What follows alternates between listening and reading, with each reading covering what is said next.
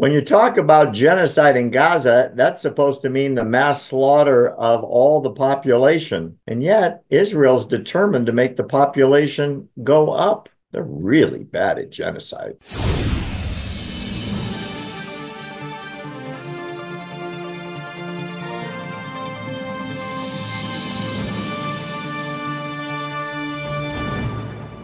I'm sure you've heard the name genocide, you know, mass murder. And the world press, the progressive world press, talks about all the time how Israel is slaughtering Palestinians and Judea and Samaria and Gaza and how they're wiping out the Palestinian population, that Israel deliberately rapes, tortures, and murders civilians, and Hamas did everything they could to keep Palestinians alive. Now, genocide, in a nutshell, is what Hamas did in southern Israel in October. They killed as many as they could.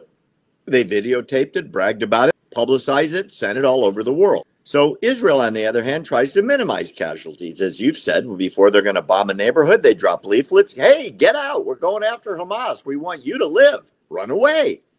No other army in history has ever done that. Here's something interesting 1.5 million leaflets have been dropped in Gaza suggesting people in the North Fleet of the South, 900,000 Gazans did and are still alive. Let me show you what Gaza looks like. This is West Bank, Judea, Samaria, Gaza. It's not the concentration camp they say. Here's one of the leaders' mansion. You ever seen a house like that? It's more of a oh castle. Oh my goodness. You know how many pictures I have that look like that? Dozens. That's where the billions went. Look at mm, that. Wow. That is that massive. Does that look like that's that's what you call oppression going on on the Palestinians? Does that look like apartheid? That's what you call oppression, Barry. Oh, that's oppression like you can't believe. wow. Right? Is that amazing? People don't realize it. The Israeli knocked the roof where they drop something on a roof so people run away instead of blowing them up works. There's all these statistics out right now, Will lots of them, that talk about the average civilian to combatant ratio in war. Generally, in wars, nine civilians die for every combatant. That's normal. The Americans and British think that's too high. And they've worked that down in some places, like in Iraq when we invaded Iraq, to three to one, three to five to one, actually.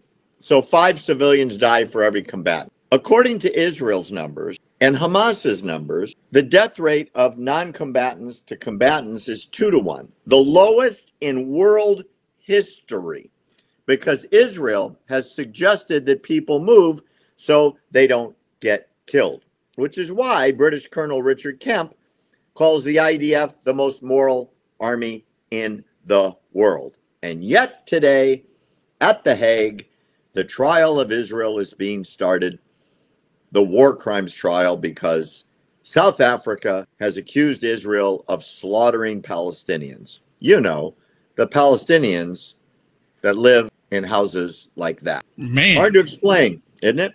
It really is. Yeah, I mean this this type this level of oppression. I mean, my goodness, it's just terrible. Look at it, to live like that. It must be terrible. I mean, I can't imagine someone has to clean it. Can you imagine what the utility bill must be? Unless, of course, they get their utilities free from Israel. You know, hey, there it is.